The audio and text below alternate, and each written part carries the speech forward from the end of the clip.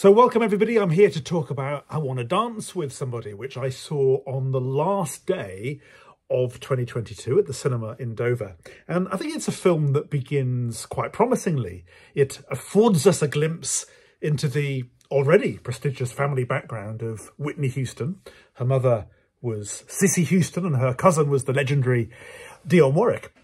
And we grasp something of the showbiz pedigree into which she was born and how her fame was able to be picked up and nurtured, turning Whitney into the only artist to have secured seven consecutive number one hits on the Billboard Top 100 chart.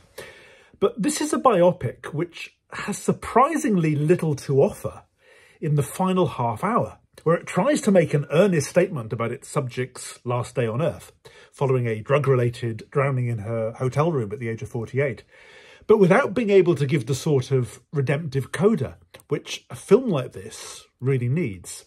Instead, it focuses on the impressive standout performances that Whitney gave over the years, including at the 1994 American Music Awards, and which cemented her reputation.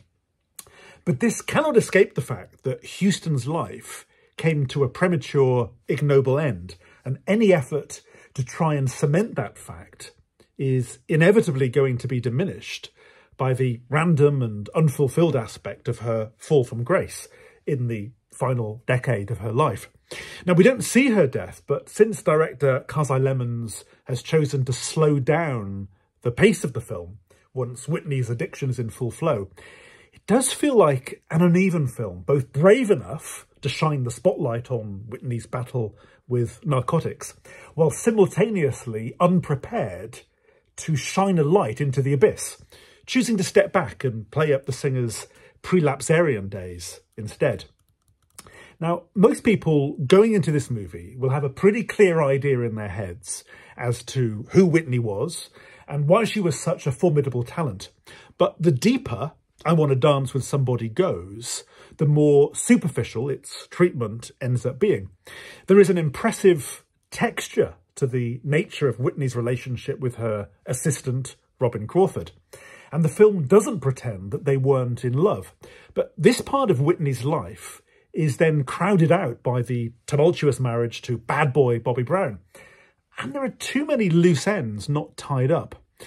Considering the degree to which Crawford is presented as the major muse and love interest in Houston's life, the filmmakers seem unprepared to want to follow it through. Now, in terms of giving us a medley of Whitney's greatest hits, this as a film provides an impressive showcase with British actress Naomi Ackie, a very convincing Whitney Houston. But it otherwise feels perfunctory. This two halves dimension of the movie is what disappoints. Having spent the first half relishing the chance to re-experience Houston's career in a full and fluid montage of her early years, the film shifts tonally towards documenting her disintegration and decline, and it is at this point that the film sags. All the characters are presented as looking out for Whitney's interests. Her agent Clive Davis is here presented as wanting nothing but for the singer to flourish, He's also the film's executive producer, with only Whitney's father presented in the film as the villain of the piece due to his financial scandals and overt homophobia. The blueprint of every musical biopic is followed here to the letter, so that it feels interchangeable with the Aretha Franklin biopic, Respect. But this is more anodyne than is deserved for a star of Whitney Houston's pedigree.